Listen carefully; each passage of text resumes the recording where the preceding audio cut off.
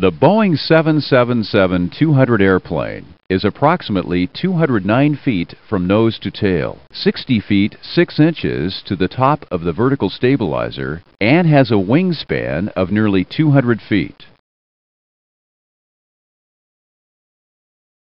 The minimum turning radius is 156 feet.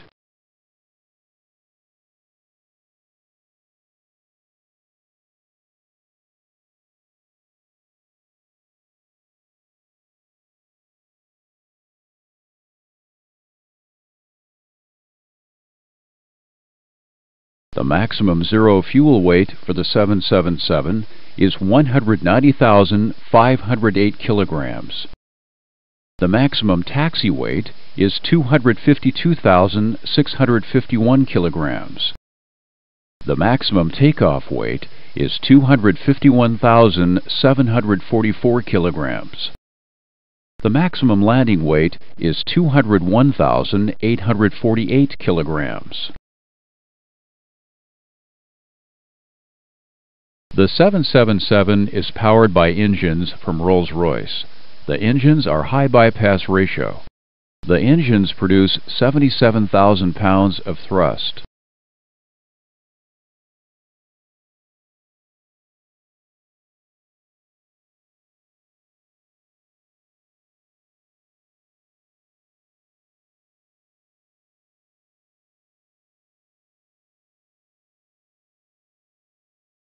The engines are huge, with a fan diameter of 9 feet 2 inches.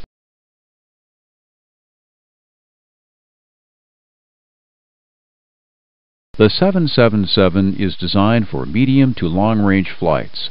The International Intercontinental Market airplane can fly from 6,000 to 7,000 miles. What this means is trips within these circles.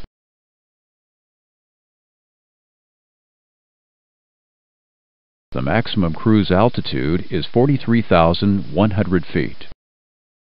And the maximum operating speed is 0.87 Mach. The 777 flight control systems operate through a fly-by-wire system.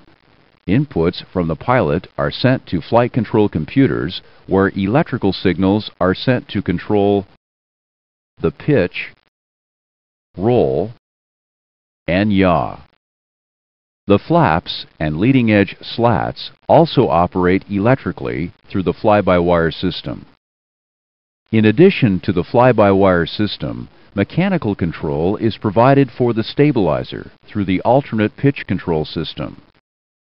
Roll control is through the control wheel to a spoiler pair. There are eight passenger entry doors, four on each side of the fuselage. There are three cargo doors, one forward, one aft, and one bulk. The forward cargo door permits loading of containers and pallet-size cargo. Special coatings on the pilot's windshields repel rain, alleviating the need for a rain repellent system.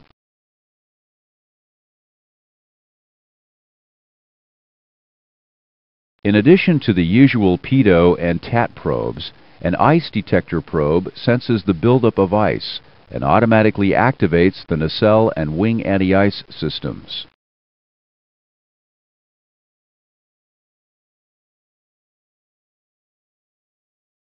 A tail-mounted APU can provide the 777 with electric power both on the ground and in flight. The APU also supplies bleed air on the ground at up to 22,000 feet.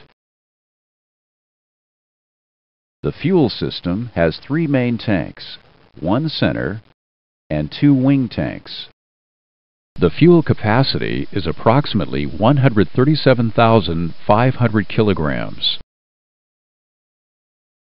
A sensor mounted on the underside of the aft fuselage detects tail strikes.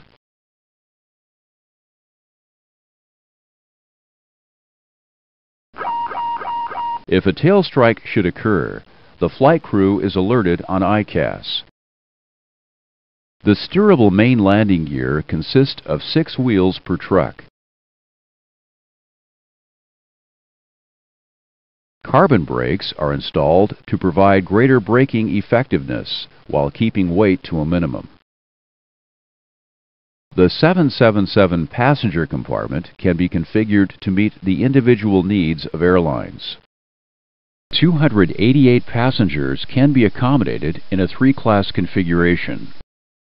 In the typical three-class cabin configuration, seating for first class is six abreast, seven across for business, and nine across for economy. Lavatories are located throughout the cabin. They can be rearranged within these areas, known as flex zones, to suit changing route requirements. Similarly, the galleys are located here and can also be rearranged within these flex zones.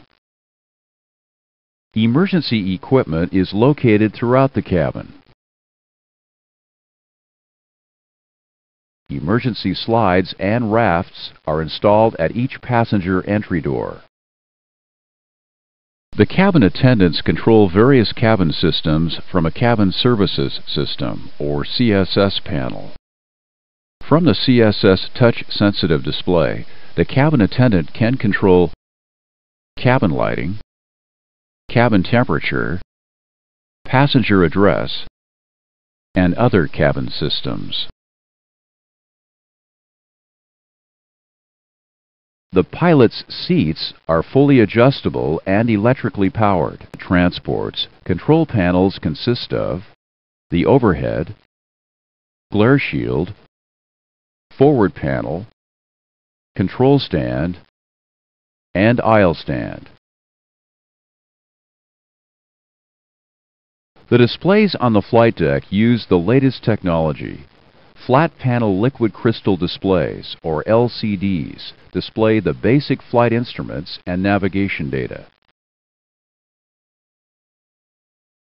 The primary flight display, or PFD, combines the basic flight instruments and annunciations into one display.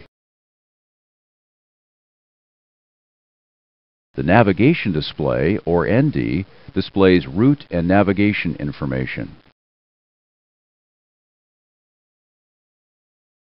The center displays show engine indications, systems information, and crew alerting. The normal standby flight instruments are also displayed on LCDs.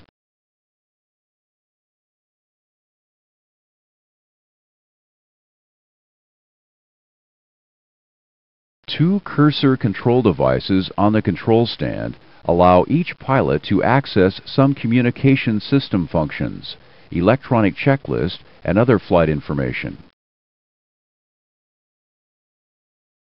The touch-sensitive pad of the cursor control device permits control of the cursor position on an active display.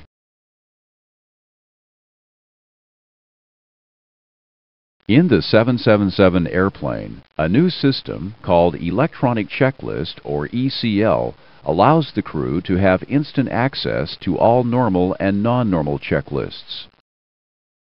Here the crew has been alerted to a problem in the hydraulic system. With ECL, the necessary procedures are stored electronically and are available to the crew with the push of a button. The checklist system has the capability to sense switch position or system states. This lessens crew workload and provides feedback for the procedural actions.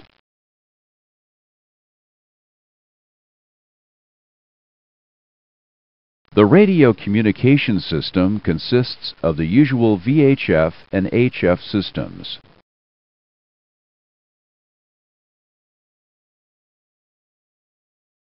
In addition, a satellite communication system provides both voice and telephone communications. The VHF, HF, and satellite systems provide the capabilities to send and receive data link messages. An Airplane Information Management System, or AIMS, provides central computing for this highly computerized airplane. AIMS integrates seven computing systems. The primary display computing system controls flight and airplane system information, which is presented on six main displays. The thrust management computing system operates the autothrottle system. A data communication management system provides ACARS communications and controls flight deck printer output.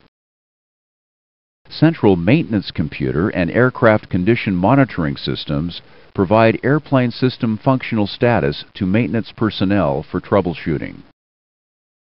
The Flight Data Recorder system records mandatory and optional flight data for the most recent 25 hours of operation. And the Flight Management Computing System, or FMC, provides lateral and vertical navigation and also auto-tunes the navigation radios. Throughout the course, you will hear reference to the term 629 data bus. The 629 data bus is nothing more than a bus that allows transfer of computer data to and from the many computers and systems of the airplane.